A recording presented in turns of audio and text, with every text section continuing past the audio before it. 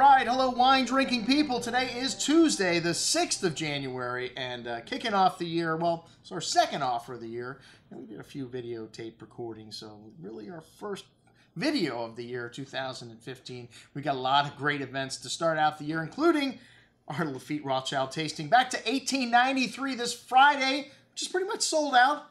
Our Bordeaux tasting at Cafe Maxx sold out. Hey, we may have a few seats left for Giuseppe coming from Avignonesi winery at uh, um, Lobster Bar in Las Olas. We're going to have the menu up as soon as we get that from those guys. They did a great job with our Schramsberg event last year with Hugh Davies. So uh, keep an eye out for the menu for that event. I believe they still have seats left for that. So uh, they got a couple things you can come to with us next week. And of course, our best of tasting, the biggest tasting we do pretty much already sold out if you want a reservation for that on the 23rd of January. You better get on the waiting list because uh, you got 100 people coming for that. But don't you worry, we got 100 different wines for that and uh, pretty much our top selections from last year.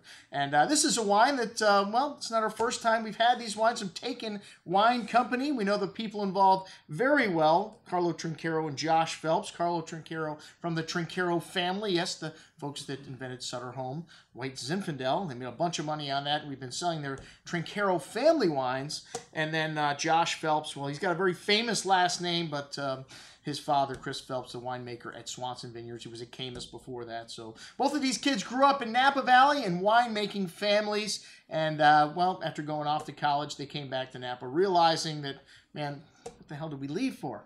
I mean, what would you rather do than be in the wine business? And uh, a little bit of college will will teach you that. And uh, these 2012 vintage, well, this is not their first vintage. I think 10 was the first vintage of Taken uh, Cabernet Merlot blend that we had here in the store with the guys. And I have to say the wine was very good. This is the most impressive offering to me. The complicated Chardonnay, I didn't find so complicated, but you, you knew these guys were going to strike gold eventually with their history and their families in the wine business. Uh, very, both very successful. And uh, this 2012, they found some great grapes here and a great vintage in Napa Valley. I was out there and experienced about 300 of these wines uh, the last February, and I have to say, whew, man, every single wine I tasted tasted like a finished wine, even though most of them were still uh, in the barrel and uh, not going to be bottled for another six, eight months or more.